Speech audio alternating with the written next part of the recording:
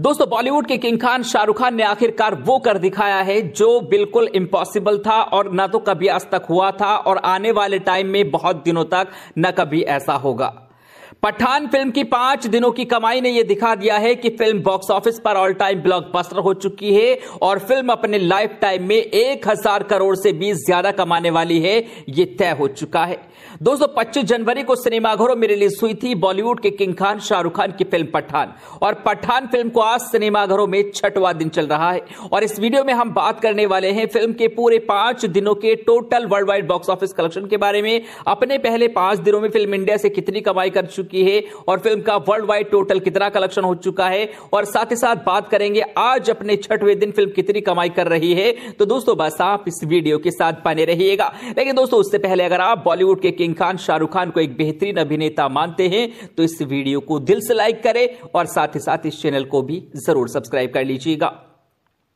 दोस्तों, अगर बात करें फ़िल्म पठान की, फ़िल्म ने अपने पहले दिन सत्तावन करोड़ रुपए इंडिया से नेट कमाए थे तो वहीं फ़िल्म का टोटल वर्ल्ड वाइड कलेक्शन था पहले दिन का 107 करोड़ रुपए।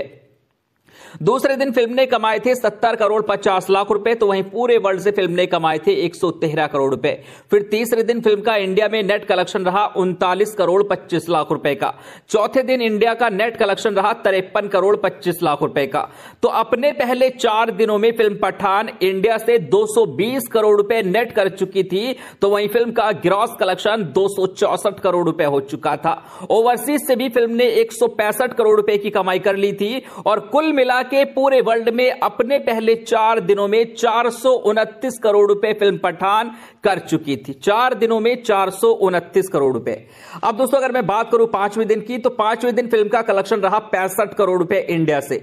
तो फ़िल्म का जो टोटल बॉक्स ऑफ़िस कलेक्शन है अपने पहले पाँच दिनों का, इंडिया में नेट हो चुका है दो करोड़ रुपए, और वही फ़िल्म वर्ल्ड वाइड में 540 करोड़ रुपए कर चुकी है। पाँच दिनों में 540 करोड़ रुपए पूरे वर्ल्ड में फ़िल्म पठान कर चुकी है।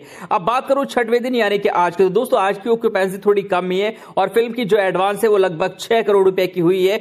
तो आज अपने छठवें दिन फ़िल्म का जो कलेक्शन है वो अट्ठारह से बीस करोड़ रुपए रहने वाला है और फ़िल्म का टोटल बॉक्स ऑफ़िस कलेक्शन तीन करोड़ रुपए इंडिया से हो जाएगा। तो वही फ़िल्म का वर्ल्ड वाइड कलेक्शन पाँच करोड़ रुपए हो जाएगा, जो कि अपने आप में सबसे बड़ा रिकॉर्ड है। और आने वाले अपने लाइफ टाइम में ये फ़िल्म एक हज़ार करोड़ का आंकड़ा पार करने वाली है। ये बिल्कुल तय हो चुका है।